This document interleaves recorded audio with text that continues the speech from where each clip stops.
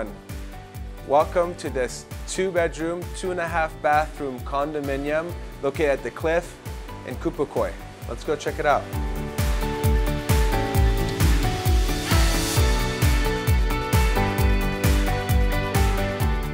These condominiums were designed to have all of the living spaces looking towards the view. Here you have a fully equipped kitchen,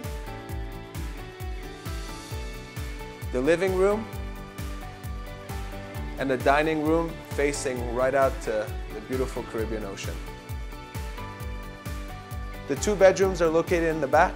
The first bedroom, the master bedroom, has its own in-suite bathroom, walk-in closet, and the balcony, which looks out to Cupecoy, the Simpson Bay Lagoon, and all the way to the back, Terre Basse on the French side of St. Martin.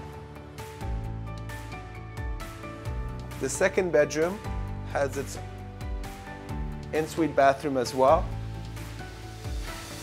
and shares the balcony with the master bedroom. What makes this condo particularly interesting is the fact that it's located at the cliff and the cliff as a residence brings a lot of amenities to its clients. There are two pools, an indoor and outdoor pool. There's a restaurant, a spa, a gym, and private access to Cupecoy Beach. The great thing about the cliff is its location. Located between Porto Cupecoy and Maho, it's only minutes away from the airport. To your left here, you have Mullet Bay Beach, next to the golf course.